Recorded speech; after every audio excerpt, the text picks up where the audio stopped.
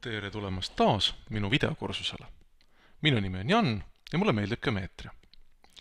me oleme kursuse algusosas tegelenud üsna palju küsimusega, kuidas teha kindlaks, kas neli punkti asuvad ühel ringjoonel. tänases loengus hakkame vaatama natukene sarnast teemat ja uurime, kuidas teha kindlaks, kas kolm punkti asuvad ühel sirgel. vaadake, need teemad on, on üsna sarnased, sest esiteks kolm punkti on alati ühel ringjoonel, kui nad just ühel sirgel ei ole, ja see tähendab seda, et asjad lähevad huvitavaks siis, kui me küsime, kuna neljas punkt nendega samal ringjoonel on. ja sirgega on natuke sama lugu, et kaks punkti on alati ühel sirgel ja asi läheb huvitavaks siis, kui me küsime, et kuna ka kolmas punkt sinna sirgele kuulub. ja selleks, et äh, need kolm punkti kuidagimoodi paika panna, mille ühel sirgel olemist me uurima hakkame, teeme kõigepealt ühe aluskonstruktsiooni ja me joonistame tasandile kolm sirget, mis lõikuvad omavahel kolmes punktis. olgu siis esimene sirge AB, teine sirge BC ning kolmas sirge AC. ja nüüd võtame siis kaks punkti ja me võtame nad niimoodi, et ühe punkti võtame neist ühel sirgel, teise punkti teisel sirgel ja uurime siis, kuna kolmas punkt, noh, mis siis saab olema sellel kolmandal sirgel, on nendega siis ühel sirgel. võtame siis äh, kõigepealt äh, punkti D sirgel BC, punkti E sirgel AC, noh, ja niimoodi, et siis ka ED-d läbib üks sirge. ja märgime ära ka praegu selle sirge lõikepunkti sirgega AB, olgu see punkt F. nii. ja proovime siis nüüd ähm, määrata kuidagi nende kolme punkti asukohta nendel sirgetel ja uurida, mida me nende asukohtade kohta peaksime ütlema selleks, et kolm punkti ühel sirgel oleksid. ja, ja me hakkame nende punktide asukohti vastavatel sirgetel määrama teatud lõikude pikkuste suhete kaudu. nimelt punkti F asukoha sirgel AB määrame me ära kahe lõigu pikkusega, kõigepealt lõigu AF pikkusega ja siis lõigu FB pikkusega. ma märgin need äh, suurused siia, siia maha ka. ma, ma kasutan praegu GeoGebra niisugust võimalust, et äh, ma saan vaadata nende erinevate objektide algebralisi kirjeldusi sellel tasandil. näete, mul on siin olemas punktide koordinaadid, mul on siin olemas noh, ka nende uute tehtud punktide koordinaadid, sirgete võrrandid ja lõikude pikkused. ja mind huvitavad need lõikude pikkused, seetõttu ma lasen nad GeoGebral siia view algebra äh, vaatesse välja kirjutada see esimene punkti F kirjeldus oli siis lõikude E ja F pikkuste kaudu. Ja samamoodi kirjeldame ära ka punkti D asukoha äh, sirgel BC äh, ja me võtame siis kõigepealt kauguse punktist B punktini D, noh, see olgu siis ähm, G, mis on siis seitse koma neliteist ühikut, ja võtame ka punkti D kauguse punktist C. seda kirjeldab siis ähm, lõik pikkusega hash, noh, mis siis sellel pildil on üks koma üheksakümmend neli ühikut. ja selleks, et määrata ära punkti E asukoht sirgel AC, võtame siis kõigepealt lõigu pikkuse C-st E-ni, see olgu siis lõik pikkusega I, ja pärast lõigu E-st A-ni, see olgu siis lõik pikkusega J et meil on nüüd võetud siis kõigepealt kolm sirget ja siis iga sirge peal üks punkt, noh, me praegu konstrueerisime nad nii, et nad on ühel sirgel, selleks, et seda olukorda natukene analüüsida, ja me kirjeldame siis selle punkti asukohta vastaval sirgel kahe lõigu pikkusega. see on siis punkti kaugus, noh, ühest punktist sellel sirgel ja punkti kaugus teisest sirgest sellel punktil, sellel sirgel. ja nüüd, et kirjeldada kogu seda punktisüsteemi korraga võtame me kasutusele uue suuruse, ma panen sellele suurusele nimeks k ja, ja ma arvutan seda suurust niimoodi. kõigepealt ma leian lõikude E ja F jagatise, see on siis äh, suurus, mis sõltub sellest, kus koha peal on punkt F lõigul AB. nüüd ma korrutan selle samasuguse avaldisega punkti D kohta, ehk siis äh, korrutan selle lõikude G ja H pikkuste jagatisega ning lõpuks ma korrutan siia otsa veel ka punkti E kirjeldava suuruse. ja punkti E ma siis kirjeldan I ja J pikkuste suhtega. ma korrutan siis selle avaldise veel ka I ja J jagatisega. nii et kokkuvõttes olen ma siis kirjutanud siia avaldise AF jagatud FB-ga korda BD jagatud DC-ga korda CE jagatud EA-ga. ja vaatame, mis tuleb selle avaldise väärtuseks, noh, te näete nende lähtelõikude pikkusi siin, kas keegi oskab arvata, mis see võiks olla? Te võite video hetkeks kinni panna, enne kui ma teile vastuse ära näitan, ja, ja vaadata peale ja mõelda, et noh, palju see võiks tulla. ja selle avaldise väärtus, nagu me näeme, tuleb üks. ja see ongi, osutub tunnus selleks, et niimoodi kolmel sirgel võetud punktid oleksid ühel sirgel. ma kirjutan selle äh,, vabandust, ma kirjutan selle avaldise siia välja ka, näete, ehk siis AF jagatud FB-ga korda BD jagatud DC-ga korda CE jagatud EA-ga võrdub ühega. Ja, ja me võime seda konfiguratsiooni siin muuta, näete, erinevate punktide koordinaadid muutuvad, erinevate lõikuste pikkused muutuvad, aga mis jääb alati samaks, on seesama äh, väärtus, mille me siin just arvutasime ja see väärtus on üks. ja loomulikult on nüüd küsimus, miks see avaldise väärtus tuleb alati üks. ja see ongi siis tänase video ülesanne, seda, seda väidet nimetatakse ühe antiikriika, Kreeka matemaatika järgi Menelaose teoreemiks ja me siis proovime nüüd selle teoreemi tõesuses veenduda. Selle teoreemi tõestus vajab ühte lisakonstruktsiooni ja ma ütlen selle lisakonstruktsiooni teile ette. ma, kui te ei ole seda konstruktsiooni enne näinud, siis, siis ei ole selle peale niisama lihtne tulla konstruktsiooni idee peale tulemine algab selle avaldise vaatlemisest. me näeme, et äh, meil on tegemist mitmete lõikude pikkuste suhetega.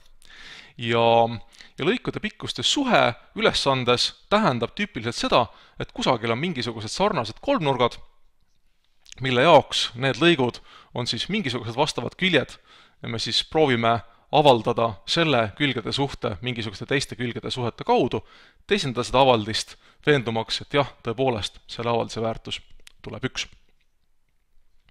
Ähm, kui te vaatate seda pilti, siis, ähm, siis siit pealt ei paista hetkel ühtegi sarnast kolmnurka.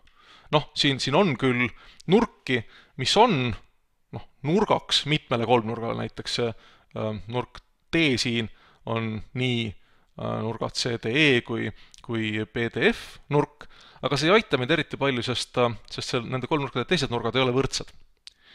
ja selleks, et tekitada siia võrdseid nurki, peame me siia nurki juurde tegema. Ähm, ühte sorti nurgad, mis äh, on alati ülesannete kasutamisel väga head, lahendamisel väga head ja mugavad, on täisnurgad. ja, ja seetõttu me teeme niimoodi, et moodustame siia pildi peale juurde Äh, täisnurki. Niimoodi, et, et nad siis hakkaksid nende olemasolevate nurkadega hästi koos mängima ja äh, annaksid meile palju täisnurkseid kolmnurki. ja, ja me proovime siis teha neid täisnurkseid kolmnurki niimoodi, et need äh, lõikude pikkuste suhted, mis meil siin ülesandes antud on, oleksid siis nende kolmnurkade jaoks vastavad küljed. noh, näiteks meil on siis vaja, et AF ja FB oleksid mingisuguse äh, mingisuguste kolmnurkade küljed. Seega noh, me peame siis kuidagimoodi saavutama olukorra, kus A ja B näiteks oleksid vastava täisnurkse kolmnurga tippudeks. ja, ja samamoodi siis äh, ka teiste punktide jaoks ka näiteks noh, kui me vaatame siin näiteks seda suhet CE ja EA suhet, siis näiteks C ja A peaksid olema mingisuguse täisnurkse kolmnurga tippudeks. ja vaadates seda BD ja DC suhet, BD ja DC, siis peaksid B ja C olema mingi täisnurkse kolmnurga tippudeks.